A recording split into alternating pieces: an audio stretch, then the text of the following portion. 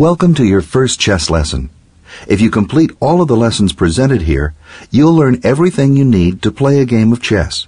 Of course, there's a lot more to know about tactics and strategy. Those topics are covered in more advanced lessons. We'll start your lessons by taking a look at the chessboard. The chessboard is made up of 64 squares, in a pattern of 8 by 8, alternating black and white, or dark and light in color. When playing a game, the board must always be turned so there's a light square in the lower right-hand corner. The saying, light on right, will help you remember this.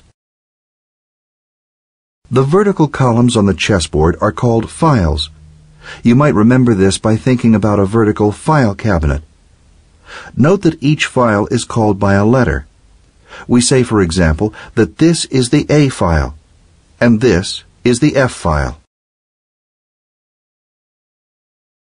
The rows on the chessboard are called ranks. You can remember this by noting that both row and rank start with the letter R. Note that each rank is called by a number. We say this is the second rank, and this is the fifth rank. Each square on the board has a name arrived at by putting together its file position and its rank position. This square is called B5 because it's on the B file and the fifth rank. This square is called H3 because it's on the H file and the third rank. This square is called E8 and this square is called D2. A series of squares going from corner to corner is called a diagonal. Diagonals are identified by their beginning and ending squares. This is the A1H8 diagonal. This is the F1A6 diagonal.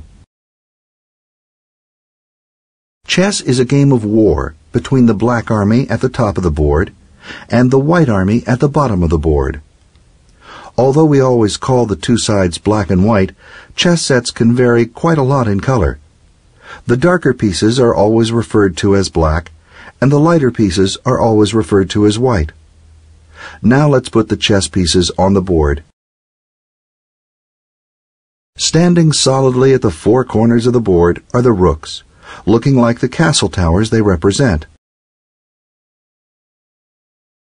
Next to each rook, galloping into the castle, are the four knights, which usually resemble horses.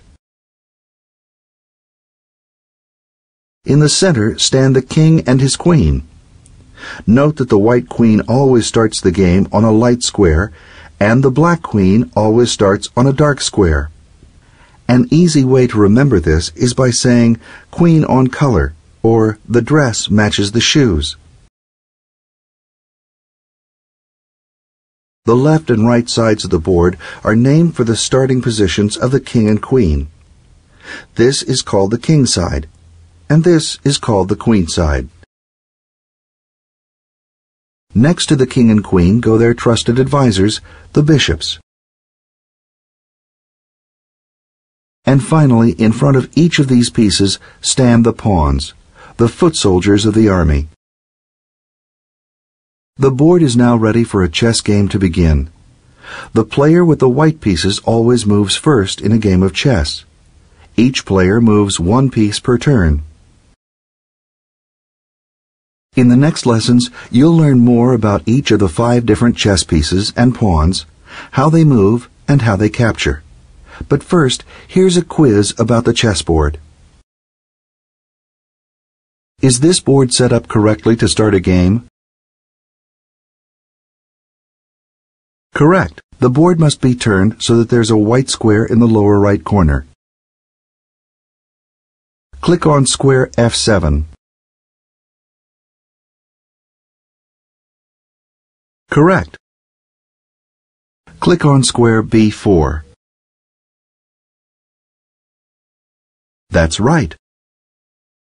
Click on all of the squares in the second rank.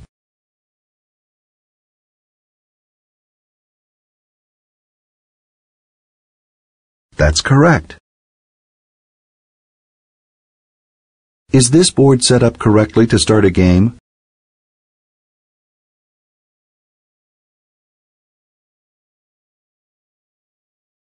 Correct. There's a white square in the lower right corner, and all of the pieces are in their correct places.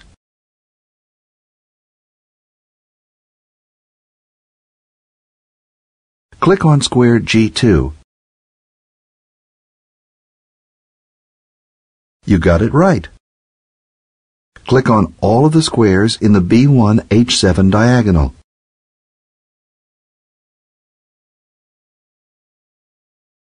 Correct. Is this board set up correctly to start a game?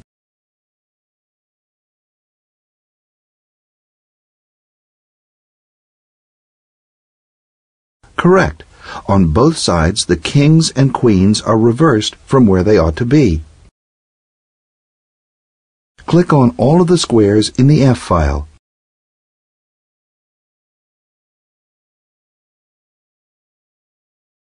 That's right. Type in the name of the highlighted square. That's correct.